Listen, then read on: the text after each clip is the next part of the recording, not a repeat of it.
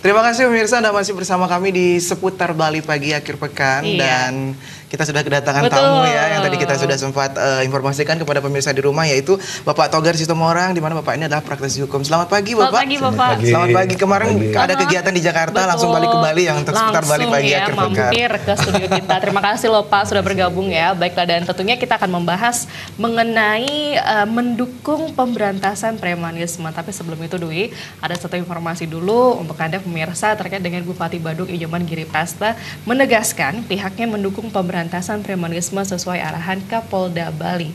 Giri Prasta juga menyatakan sepakat tidak ada preman, namun preman yang dimaksud yang menyusahkan masyarakat. Giri Prasta mengatakan lebih lanjut, preman yang menyusahkan orang adalah preman dalam arti memeras orang atau membuat susah masyarakat. Bupati Badung mengakui masih membutuhkan preman dalam artian preman yang membantu masyarakat. Giri Prasta mengatakan klasifikasi premanisme harus jelas. Preman menurutnya dilihat dari tindakannya bukan orangnya.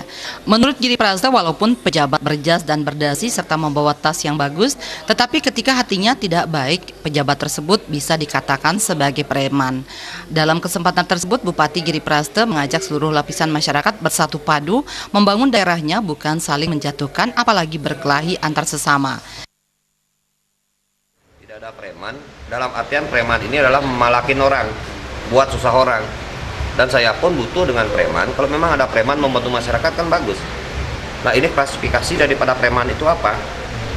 Ini, ini, ini, ini yang perlu kita lakukan dan kami menetralisir persoalan ini di Kabupaten Badung agar betul-betul kita bersama-sama untuk membangun Badung. Sekalipun nanti yang dimaksud dengan preman itu kan karena tindakan, bukan orangnya. Preman itu adalah siapa pun orang, biarpun dia pejabat, pakai dasi, pakai jas, pakai tas yang bagus, ketika hatinya iblis gimana? Itu kan klasifikasi golongan masyarakat preman. Pernyataan Bupati Badung Nyoman Giri Prasta tersebut menyusul munculnya pernyataan Kapolda Bali yang menyebut Bupati Giri Prasta masih ragu dalam memberantas premanisme. Jaya Kusuma, Bali TV. Baik, Bapaknya sudah di sini apa kabar Pak? Baik. Sehat ya, sehat Iya. selalu ya. Ini ada kegiatan kemarin di Jakarta. Betul, biasa kita kan hari-harinya ngurus-ngurus klien, Iya. kasus-kasus. ya. Kalau home base-nya sendiri di Bali Pak? Di Bali, Di di, Bali, ya. Sanur, Bypass Ngurah Rai, nomor Iya. 407. Pak, kalau kita berbicara tentang premanisme ini Bapak eh, melihat premanisme ini sejauh ini seperti apa, Pak? Premanisme, Iya. premanisme ini, nah ini. Kadang-kadang premanisme ini kan salah dikonotasikan atau salah diartikan. Iya. Kalau bentuk baku premanisme itu sendiri dari bahasa Indonesia nggak ada. Hmm. Tapi kalau memang kita mau ambil daripada asal muasal premanisme itu tuh dari bahasa Belanda. Hmm. Artinya manusia bebas. Oh. Nah, manusia bebas yang tidak terkungkung, yang tidak bisa ada dikendalikan. Freeman, ya? Free Free. man. Oh. Manusia Ya, bebas. manusia. Ya, nah, mereka di Indonesia kan jadinya preman. Preman. Preman. Nah, mereka itu berkumpul di satu eh, tempat di satu orang-orang yang mempunyai satu visi dan satu misi. Ya. Nah, selama kegiatan mereka itu positif, tidak ada pelanggaran, ya tidak bisa dibilang bahwa preman itu jelek. Iya, benar, Nah, benar, benar. Tetapi kalau memang preman itu melakukan perbuatan, artinya perbuatannya ya bukan orangnya. Kalau dia sudah melakukan perbuatan, ya otomatis itu kriminal.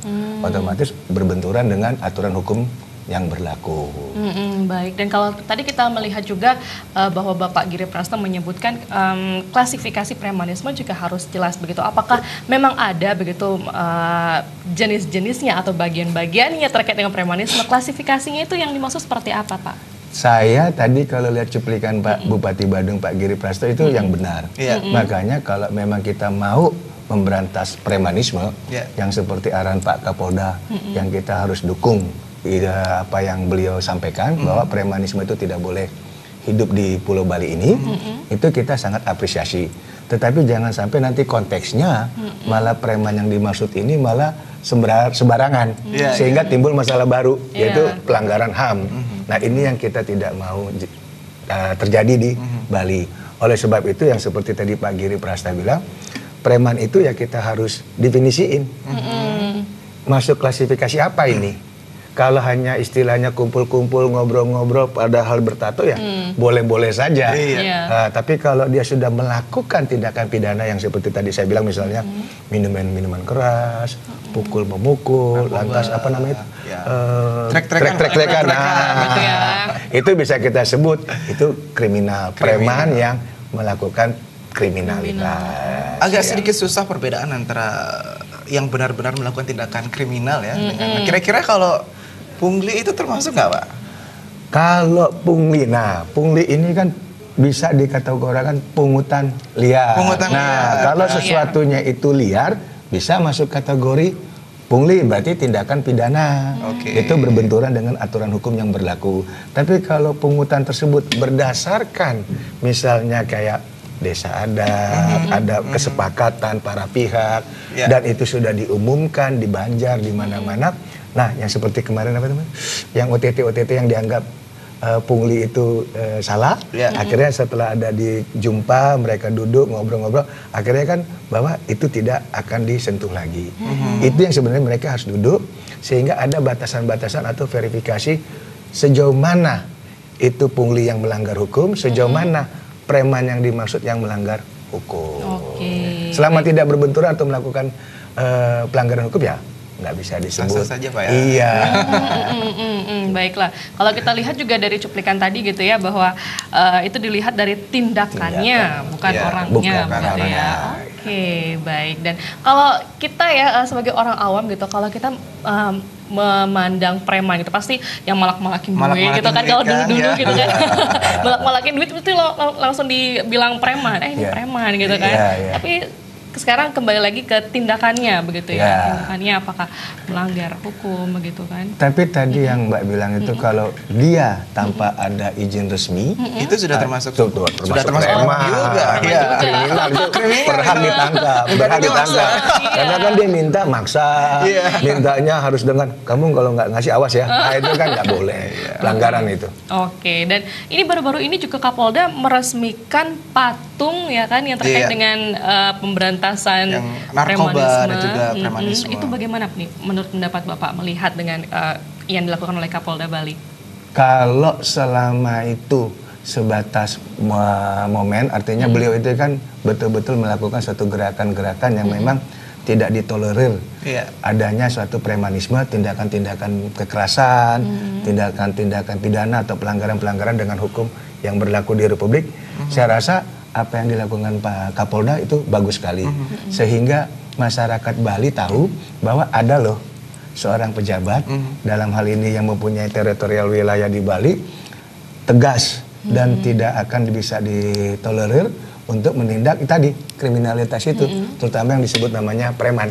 Makanya saya pribadi apresiasi sekali ada punya ide supaya buat patung seperti itu. Mm-mm.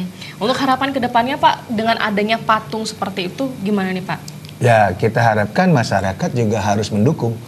Harusnya saling membantu bahwa Nah, itu dia. preman itu ya tidak boleh hidup di Pulau Bali ini. Karena gini, konteksnya eh, kalau terjadi di sini keamanan nggak stabil, lantas juga tindakan pidana atau kriminal meningkat, nah ini nanti bisa menjatuhkan daripada pariwisata Bali itu sendiri. Karena bagaimanapun juga keamanan adalah Pasti, satu untuk pasti. pariwisata. Betul. Karena bagaimana orang dari luar negeri mau datang ke sini kalau mereka merasa nggak jam- nggak ada jaminan, Iya, iya. nggak ada keamanan, itu yang kita pikir. Apalagi kita kalau kita flashback itu ya beberapa tahun lalu itu ada bentrok begitu kan juga kan Oh, itu iya. juga pasti mempengaruhi eh, kunjungan wisatawan ke Bali Betul, begitu betul, ya. Baik, Bapak, nanti kita akan ngobrol-ngobrol lagi terkait tentang preman ini menarik sekali ya Sandi ya. Iya, seperti yang t- eh, tadi sudah dibilang ngeri-ngeri sedap gitu ya. Dan untuk mendukungnya eh, pe- pemberantasan premanisme kira-kira seperti apa? Apakah kita juga bisa eh, membantu gitu ya untuk mendukung pemberantasan premanisme seperti apakah nanti kita akan membahas sesaat lagi.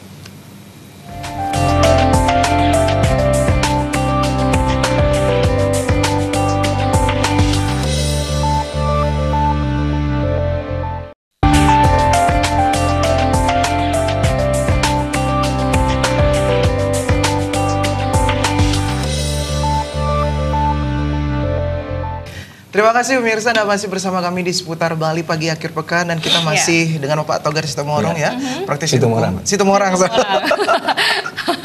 yang kita berbicara tentang uh, masalah premanisme ini Pak ya. Tapi sebelumnya kita mau uh, mengajak pemirsa untuk melihat informasi berikut ini pemirsa di mana tim Saber Pungli Polda Bali ini melakukan pertemuan dengan pihak Ombudsman ya terkait operasi tangkap tangan di sejumlah desa adat di Bali. Meski OTT yang dilakukan sudah sesuai prosedur, namun pihak Ombudsman berharap penangkapan agar dilakukan secara lebih efektif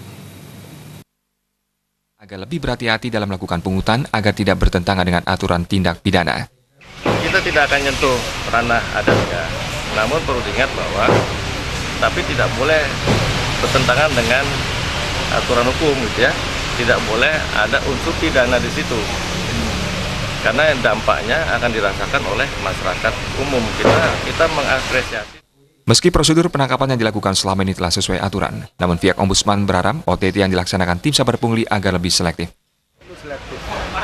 Artinya bisa memilah mana menjadi ranah kewenangan dan mana yang bukan. Kalau memang menjadi ranah kewenangan pemerintah untuk menindak, saya kira bisa diambil tindakan. Tapi kalau bukan, ya bisa ditinggalkan. Kita berharap seperti itu. Artinya pemerintah Adanya kasus ini, pemerintah diharapkan segera membuat aturan perda sehingga keberadaan desa Pekraman bisa dilindungi keberadaannya. Stakeholder, pemegang kebijakan, pemegang kepentingan di Bali ini bisa duduk bersama. Duduk bersama merumuskan aturan yang ada. Duduk bersama bagaimana kita berbagi tentang apa yang semestinya dilakukan. Sehingga tidak terjadi lagi tebang pilih atau tumpang tindih. Hal-hal yang memang sebenarnya itu sangat dibutuhkan oleh adat. Hmm. Sangat dibutuhkan oleh kepentingan adat, sangat dibutuhkan oleh keperluan-keperluan yang memang memang adat itu sangat sangat tergantung dengan pemasukan seperti itu sumber-sumber dari hal-hal tersebut. Suparyana dan Indrawan Bali TV. Hmm. Iya, iya, itu uh, terkait dengan tim Saber Pungli. Iya, ini kan tim Saber Pungli Polda Bali melakukan pertemuan Pak ya hmm. dengan pihak Ombudsman terkait operasi tangkap tangan di sejumlah iya. desa adat di Bali. Nah, peranan desa adat itu sendiri gimana Pak untuk uh, pemberantasan premanisme? Apakah perlu atau tidak? Justru peranan desa adat ini sangat-sangat penting. Hmm. Karena desa adat itu kan langsung bersentuhan dengan komunitas atau sosial masyarakat iya. daripada desa dia setempat. Iya. Dia tahu setiap orang-orang yang kegiatan, yang melakukan apa, atau hmm. orang tersebut pekerjaannya apa, dia lebih tahu. Oleh sebab itu ya, kita harus apresiasi dan kita juga harus menjaga desa adat itu tetap hmm. harus ada. Hmm. Jangan sampai ada nanti yang dilakukan tiba-tiba jadi mengkriminalisasi ya, atau malah ya, melemahkan kinerja desa adat itu sendiri. Mm-hmm. Gitu. Berarti memang peran dari desa adat yang luar biasa, lebih sangat ya, penting sangat gitu ya. ya. ya. Baiklah, mungkin selain dari desa adat untuk peranan uh, masyarakat lainnya itu bagaimana nih Pak kalau menurut Bapak? Tentang apa nih? Tentang untuk memberantas premanisme ini, nah, apa yang bisa dilakukan? Kalau gitu? kita bicara tentang pemberantasan premanisme, mm -hmm. kita kan nggak bisa nyerahkan itu kepada pihak kepolisian saja, yeah. Yeah. tapi kita harus selama sesama instrumen mm -hmm. anak bangsa mm -hmm. yang betul-betul manusia hari ini kita sudah disuguhkan mm -hmm. semacam kemerdekaan free day, free mm-hmm, day mm -hmm. dari manusia-manusia bebas yang dulu zaman perang dulu yang namanya Pak Soekarno, Hatta dan seterusnya itu, mm -hmm. dia yang manusia-manusia yang free man, mm -hmm. yang membebaskan kita daripada penjajahan dan bangsa. Nah, oleh sebab itu dengan mengisinya mm -hmm. dari tadi kebebasan itu, otomatis kita harus membantu saling bahu membahu. Kebebasan ini harus secara positif Jangan kebebasan ini disalahartikan sehingga ada kegiatan-kegiatan yang melanggar aturan hukum. Mm-hmm. Itu yang kita harapkan. Jadi baik itu desa adat, yeah. saya sendiri, mm-hmm. Mbak ataupun siapa pun kita masyarakat kita mm-hmm. semua dukung daripada gerakan-gerakan yang memang kita tidak tolerir. Uh-uh. Misalnya kekerasan, mm-hmm. lalu pungutan-pungutan yang memang memaksa. Yeah lantas juga ada apa namanya mabok-mabok ya, mabok, ya. minum-minuman sampai di jalan, sampai di jalan ya. naik apa motor-motor. benar. ya. salah, salah satunya, itu, itu. ya, karena benar. dia udah terpengaruh alkohol ya. dia jalan lalu lihat wanita dia tertarik libidonya ya kan? Libidonya tertarik. Lantas main jadilah kriminal. Bukan main apa main geret-geret pahanya ya, itu ah, itu kan jadi itu, itu kriminal. itu, itu sering kita lihat dengar dulu ya, ya. geret-geret paha nah, itu ya. Benar. Nah dengan adanya statement dari Pak Kapolda sendiri untuk mm -hmm. memberantas preman, mm -hmm. kan buktinya turun. Mm -hmm. Ya nggak ada lagi kita dengar di jalan itu bahwa ada seorang perempuan jalan malam-malam mm -hmm. tasnya di jambret atau orang lagi jalan di kute di pahanya di Nah, atau yang anak-anak naik motor ugal-ugalan itu kan udah nggak ada lagi. Jadi sudah bagus ya untuk pemberantasan. Bukan bagus malah eh, luar biasa. luar biasa ya, Nah, ada bukan Kapolda dan juga kepolisian Iya. untuk membasmi preman, Pak ya. Betul. Karena benar-benar sangat disayangkan kalau misalnya itu sampai terus terjadi Iya. begitu kan. Sampai mencoreng dengan nama Bali soalnya Betul, ya. kan. Baiklah. Dan ini juga Pak, kita melihat bahwa di sini banyak ya organisasi. Organisasi, gitu. Organisasi, organisasi ya. masyarakat begitu. Mungkin Pak, yang lebih ya. dikenal dengan ormas ya. Hmm, ormas juga. Ini kalau menurut pandangan Bapak sendiri bagaimana nih Pak terkait dengan ormas? Apakah eh, sama dengan preman gitu? Gimana Pak? Nah, kalau masalah ormas, ormas itu kan kategorinya ada dua kata, organisasi masyarakat. Masyarakat, nah, ya. kalau ormasnya itu dalam berjalan ataupun eh, melakukan visi misinya positif, Iya. ya kenapa enggak? Itu satu. Tapi kan nggak sebatas di visi misi aja, legalitasnya. Ormas ini punya legalitas enggak? Punya ADART enggak? Iya. Punya terdaftar enggak di Kesbapol apa namanya? Eh, provinsi. Iya. Nah, kalau ini semua ada, ya kita anggap ya mereka memang bagian masyarakat yang memang peduli tentang visi misi yang mereka lakukan. Yang pertama Ah, ah, legalitas, legalitas. ya, oke. Legalitas. Lalu dia harus ada ADRT, aturan mainnya dari antara mereka. Mungkin ada tidak boleh melakukan kegiatan kriminal, narkoba dan seterusnya. Itu dan ada seterusnya. aturan-aturannya Pak, ya? Pasti, pasti, pasti, pasti. Nah, yang nomor tiga, ormas ini kan memang dibolehkan di Republik kita. Ada undang-undang ormasnya. Iya. Nah, kalaupun yang tadi kategorinya ormas di apa dikonotasikan, Iya. dibilang ormas itu dengan preman sama atau tidak? Saya rasa beda jauh. Beda ya. Iya, kan ada juga di Jakarta kalau nggak salah ormas apa FPI. Itu kan forum peduli eh, apa sih? Islam. Ada ormas di sini apa itu? Eh, Laskar, Laskar. Baladika, apalagi itu Iya. PBB. Nah, itu kan mereka kalau memang selama visi misinya tidak bertentangan dengan undang-undang, saya rasa tidak ada masalah Ya. gitu. Tapi memang ada beberapa yang eh, dari ormas itu juga melakukan melanggar, ya Oh ya tindakan itu iya. otomatis pribadinya kan. Pribadi. Pribadi orang itu harus bertanggung jawab dengan hukum. Oleh sebab itu negara harus hadir. Iya. Nah, kepolisian dalam hal ini Oh, oke. Ya. Baru melibatkan kepolisian untuk hal itu. harus, gitu ya. harus, Ha. harus, harus. Oke. Jadi memang ormas itu sendiri ada aturan-aturan yang harus mereka ikuti ya, Betul. tidak sembarangan ya. Tidak hanya bentuk-bentuk ormas yang tidak bisa. Jadi yang melanggar itu adalah balik ke individu masing-masing. Ya, Balik ke ke pribadi masing-masing. Begitu jangan sampai melanggar ya. Ya. Tapi mungkin kenapa uh, bisa kemarin-kemarin tuh banyak sekali terjadi pelanggaran, yang Pelanggaran- dilakukan oleh yang dilakukan ormas, ormas, begitu Pak. ya sampai ada saling membunuh begitu Saling kemarin membunuh Pak. dan Nah, itu tadi mungkin ada tidak ada keharmonisan dalam hal komunikasi. Iya.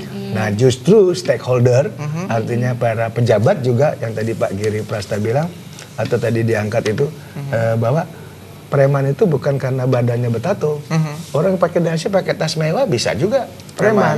Nah, ini yang kita harus duduk bagaimana kita ke depan dalam menjaga balinya. Istilahnya ajak bali ya. Iya, Ajak Bali. balinya itu bagaimana? Iya. Ada ormas A, kamu tuh harus begini. Lalu ada pejabat ini, kamu nggak boleh loh begini. Untuk mendapatkan suara, kamu menggunakan ini ini itu nggak boleh. Ini mari dukung duduk. Iya. Sehingga tidak ada lagi yang tadi eh, perbuatan pidana sehingga ormas ini merasa tidak nyaman dengan ormas yang ini. Ormas ini tidak nyaman dengan yang ini. Akhirnya mereka bertabrakan sangat disayangkan anak bangsa, Betul. anak-anak muda yang punya potensial yang harusnya diarahkan secara positif terutama pemerintah juga harus jujur. Apa jujurnya? Kan mereka hanya satu, kebutuhan ekonomi. Iya. Iya. Nah, atau pendidikan. Kenapa nggak mereka kita rangkul?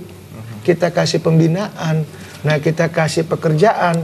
Nah, ini juga kita harus introspeksi ke diri kita sendiri. Kita ini harus aware juga sama mereka bahwa mereka itu ada loh. Kenapa nggak kita rangkul, kita kasih dia job desk-nya, kita arahkan dia ke hal-hal yang memang positif, Positif, ya. sehingga ke depannya di Bali tidak ada lagi orang dalam hal ketakutan karena ada ormas tertentu. Iya, iya. Karena memang eh, belakangan ini konotasi dari ormas itu sudah apa dibilang kurang baik ya Pak ya karena kejadian-kejadian yang sebelumnya ya. Iya, tapi Orang kan udah sempat mikirnya langsung takut gitu. Udah ya, takut ada jadi ormas ya. betul, betul.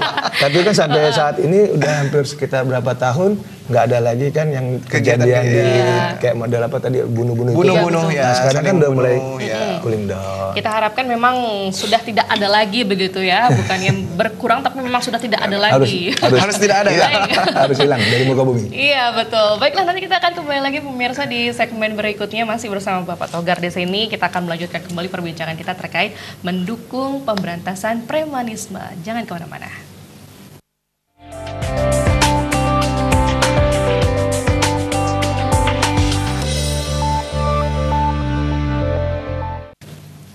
Iya, kita masih di seputar Bali pagi akhir pekan ini masih ngomong-ngomong dengan Bapak eh, Sitomorang ya, asik sekali. Ini sudah sesi akhir loh. Ini sudah ya. sesi Waduh, akhir, ya. kerasa banget ya Pak ya. Dari tadi kita membahas tentang premanisme ya. Baiklah, terkait dengan premanisme dan ini juga sudah sesi akhir Bapak. Ini kan tentunya tadi sudah disampaikan bahwa semua pihak juga harus mendukung ya untuk pemberantasan premanisme ini apalagi desa adat begitu. Untuk langkah-langkahnya sendiri mungkin dari Bapak ada yang ingin disampaikan terkait langkah-langkahnya yang bisa kita lakukan untuk memberantas premanisme begitu. Ya, kita sangat pertama saya ucapkan eh, terima kasih atas kinerja Pak Kapolda yang memang tidak mentolerir adanya bentuk kekerasan di Pulau Bali ini. Otomatis kan tadi ada menyinggung masalah pariwisata Ya. sehingga mudah-mudahan ke depannya kunjungan pariwisata ke Bali makin lama makin meningkat. Betul. Tapi juga kita utamakan pariwisata yang datang itu adalah turis-turis yang punya kualitas. Iya. Jangan eh, jangan turis-turis yang memang menimbulkan masalah misalnya kayak Waduh. turis Tiongkok. Malah Membuat- memicu gitu ya. memicu Memicu ya, jangan seperti itu Iya. kayak turis-turis yang dari datang diduga yang Rusia Iya, iya, yang dia bisa buat apa namanya eh, cyber cloning itu Ada loh. juga saya dengar kemarin ngedar pengedar narkoba juga di bukan sini. soal itu yang ngeri itu adalah Cyber. preman yang masalah untuk eh, chip chip ATM dia bisa oke. menjim bisa menzoom jadi ATM kita itu sudah terkloning sehingga tanpa kita sadari ATM yang kita ini terkuras habis Oke. Nah, justru yang itu yang harus kita waspada dan kita Iya, harus belajar iya, lagi iya, tentang teknologi cyber. Preman itu yang harus kita kejar. Karena jangan sampai malah preman-preman berkeraputi. Preman-preman kecil. Pre- bukan, preman-preman keraputi yang menggerogoti uang masyarakat yang tanpa sadar. Nah, itu terabaikan. Iya. Yang dikejar itu hanya preman-preman yang hanya karena keadaan sosial, artinya karena mereka tidak mendapatkan lapangan pekerjaan, tidak punya pendidikan cukup, ya kan? Nah, ini yang kita sorot. Padahal ada kejahatan yang luar biasa yang memang itu yang harus kita eh, utamakan. Nah, kembali lagi tadi bahwa tetap kita dukung ataupun kita jaga dan sangat kita sangat apresiasi gerakan eh, premanisme ini. Dan ketiga itu bahwa desa adat juga kalau bisa turut campur mendata yang kira-kira rakyatnya atau masyarakatnya yang potensial Iya. yang kira-kira akan membuat suatu gerakan ataupun melakukan tidak pidana ya ini yang mesti diwaspadai juga itu sih cuman tiga itu aja yang saya harapkan. Oke, Iya. terkait dengan premanisme gitu ya dan ini sudah eh, menuju ke sesi akhir begitu Bapak. Mungkin ada lagi nih ingin disampaikan kepada pemirsa dan juga harapannya nantinya terkait dengan eh, pemberantasan premanisme ini. Bagaimana Bapak? itu tadi bahwa kita dukung gerakan daripada Pak Kapolda untuk memberantas preman, kedua juga desa adat ikut campur untuk memberikan data bahwa ada di warga di sana dikategorikan bisa melakukan satu perbuatan yang memang bertentangan dengan undang-undang. Dan yang ketiga ya kita semuanya. Ini Oke, juga kita semua harus ya, ikut begitu harus ya. berani. Harus bukan harus berani, ikut ya. harus berani Ikut untuk memberantas dan juga berani. dia berani menolak segala macam bentuk premanisme, Oke. baik itu dalam hal bentuk Yang kecil-kecil sumbangan, aja gitu ya. Iya, Itu yang kecil-kecil pun itu satu atau sudah yang termasuk. kecil-kecil itu nggak boleh, itu aja. Kita Oke. sendiri juga harus berani mengatakan tidak kepada preman. Oke, berarti katakan tidak pada preman. Karena Itu bagaimanapun dia. juga ya Bali sebagai salah satu destinasi Betul. wisata ini keamanan ini sangat penting sekali Sangat, Pak ya. betul. Dan ini memang harus kita pertahankan dan tolak premanisme. Iya, dan tentunya sudah tidak ada lagi begitu ya Ya. aksi premanisme di Bali. Oke, terima kasih Bapak sudah bergabung bersama kami. Nanti kita main-main ke kantornya ya. Oke, terima kasih Bapak.